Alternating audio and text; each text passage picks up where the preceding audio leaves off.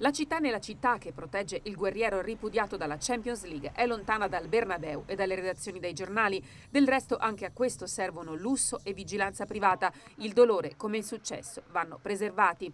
Il buon ritiro del tecnico del Real Madrid è lì dietro quella sbarra alle mie spalle, siamo alla finca, la zona più esclusiva di Madrid. In fondo a quel viale le case di tanti giocatori del Real, Cristiano Ronaldo, Kakà, Sergio Ramos, Casillas. Il primo di giugno, secondo le indiscrezioni, lascerà questa casa. Ha già comunicato ai domestici di cercarsi una nuova occupazione. La sentenza è stata rinnovata sui giornali di oggi. Il fallimento si è compiuto, titolano gli eterni nemici da Barcellona. Quelli di Madrid vadano solo al cuore lacerato del madridismo. Per la critica il bottino dello special in tre stagioni è molto normal, un campionato ed una Coppa del Re e la prospettiva di aggiungere un'altra Coppa nazionale nel derby di metà maggio non può bastare ad equilibrare i bilanci. Questione di giorni e queste strade, queste facce per Mourinho potrebbero tornare straniere. La silhouette di Ancelotti sembra allungarsi sempre più sul Bernabeu mentre il Chelsea chiama col suo carico di amore e con gli oltre 110 milioni di euro che Abramovic avrebbe già disposto per il mercato dello special.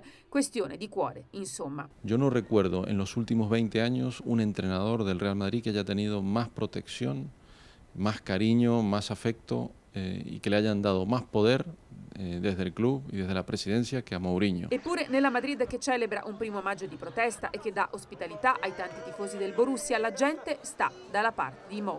Yo creo que hay más madridistas a favor que se quede que en contra. Yo por, por mi parte eh, lo echaría de menos. Pero yo orgulloso. Yo, me gusta mucho Mourinho porque se trabaja mucho, se le ocurra mucho en los planteamientos de los partidos y el que falla los goles son los jugadores.